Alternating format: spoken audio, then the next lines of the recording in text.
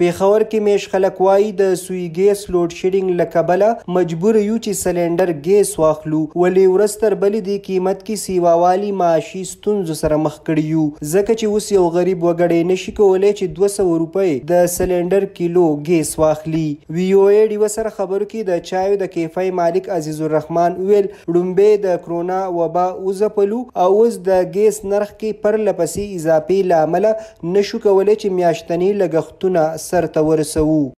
پهله نو پټرول ګرانېدو، اوس ورځ په ورځ ګیس راباندې ګرانېږي چې بس په دې حکومت کې موږ ډېر ستړي یو. قسم دی میاشت پوره شي، قسم دی یوه روپۍ هم نه وي، د کوره راپسې ټیلفون وکړي پیسې نه وي او ډېر زیات ستړي یو په دې حکومت کې. نو موږ دا مطالبه ده چې بس ګیس ارزانه کړي. او لوکډون یو طرف نو سه لوکډون هم را باندې سٹارټ کړی دی هوټلان هم بند دي کله وای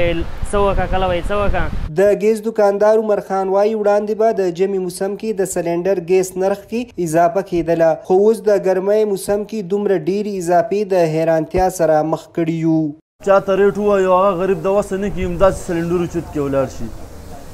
څوک لرګي بلوي څوک څه کوي څوک څه کوي او چې کوم ډېر مجبوره خلک دي د چا چې وس کیږي بس هغه خلک ګیس اچوي او نور چې کوم دی که نه ټول خلک همداسې مونږ په خپله خپل کور کې دا دی لرګي بلوو او کرۍ کور کې اوسېږو او بس خپل غریبۍ خپل هغه سره وخت تېروو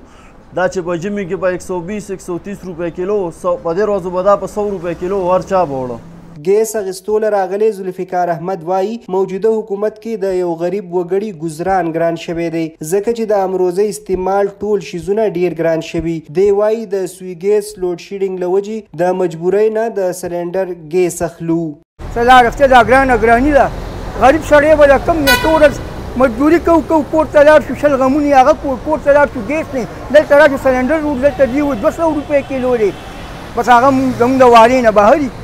په دې حکومت کې به دا حل دی غریب خوښ مو یا غریب معاشران وي غریب تباه دی دا زمونږ حل دی